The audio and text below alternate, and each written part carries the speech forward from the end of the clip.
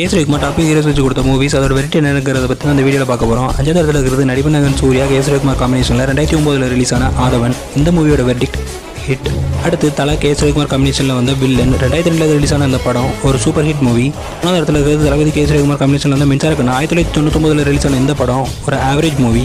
அடுத்து உலக நாயகன் கே காம்பினேஷனில் வந்த தசவதாரம் ரெண்டாயிரத்தி எட்டில் ரிலீஸ் ஆன அந்த படம் ஒரு பிளாக் பஸ்டர் மூவி முதல் இடத்துல இருக்கிற படம் சூப்பர் ஸ்டார் கே ஸ்ரீகுமார் காம்பினேஷனில் வந்த படையப்பா ஆயிரத்தி தொள்ளாயிரத்தி தொண்ணூத்தொம்பதில் ரிலீஸ் ஆன இந்த படம் ஒரு இண்டஸ்ட்ரி ஹிட் மூவி